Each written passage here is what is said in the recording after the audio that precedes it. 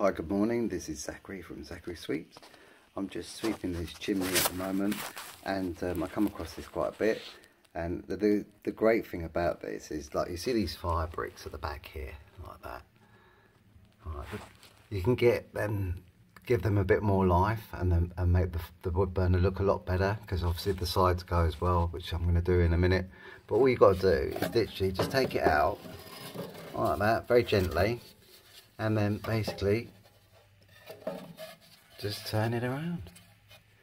And then I'll put the other side bricks in in a minute and then you can see look it looks like you've got a brand new fire brick. And it'll just stay there.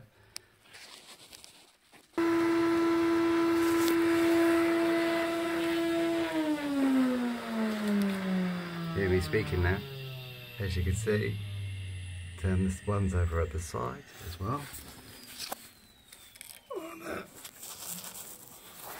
And as you can see,